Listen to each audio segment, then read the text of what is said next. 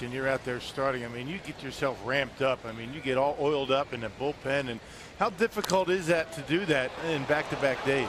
It is tough. It is tough. You know, you do it, uh, being in a bullpen, you do it, you can do it two or three days in a row.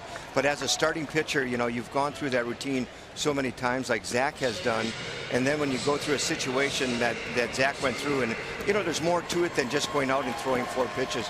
It was everything, the elements that went of getting uh, thrown out of the ball game, the, the uh, the embarrassment that Zack felt personally about what he did. There was no malice towards uh, the umpire or anything, but it was a whole situation that sometimes can mentally throw you off a little bit, or even more so, work on your emotions.